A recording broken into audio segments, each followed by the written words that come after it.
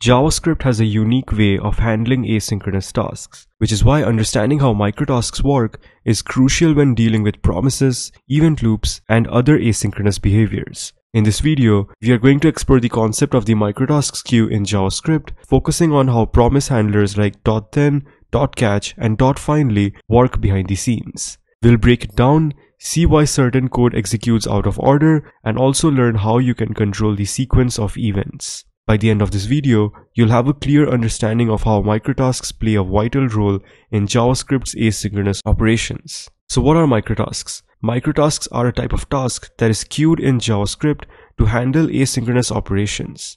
When promises are resolved or rejected, their .then, .catch, or .finally handlers do not execute immediately. Instead, they're placed into a microtask queue to be executed later when the JavaScript engine is free. This queue operates in a first in first out order, meaning that tasks added first will be executed first. However, the key point to remember is that microtasks only execute when the current JavaScript execution stack is empty which means no other code is running. So let's start with a simple example to illustrate how the microtasks queue works. What do you think will happen when this code runs? You might expect to see promise done first, since the promise is immediately resolved. But when we run the code, here's the actual output. Code finished and then promise done. Now why does this happen?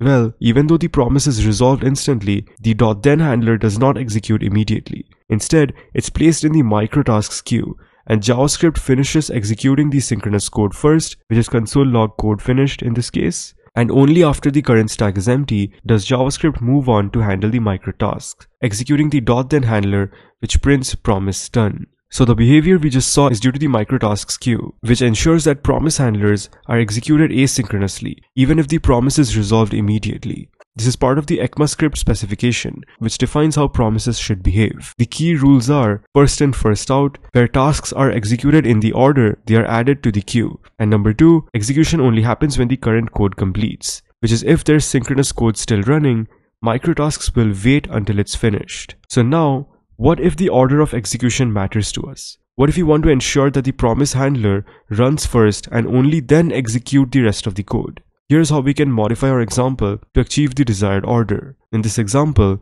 the output will be promise done and then code finished. By chaining dot .then handlers, we make sure they're executed one after another, following the order of resolution. So microtasks come into play in real-world applications when you're working with asynchronous tasks like fetching data from an API. Let's consider this example. In this example, fetching data will be logged to the console first because fetch is an asynchronous operation and the .then handler for the promise returned by fetch will be added to the microtasks queue. The promise handler will execute later, once the API response is received and the current stack is cleared. So why does JavaScript use this microtasks queue instead of executing promise handlers immediately? Well, because this mechanism helps maintain the consistency and predictability of asynchronous code. By ensuring that microtasks are executed only when the current code finishes, JavaScript avoids potential race conditions and other tricky issues that could arise from running asynchronous code at unpredictable times. It also gives developers more control.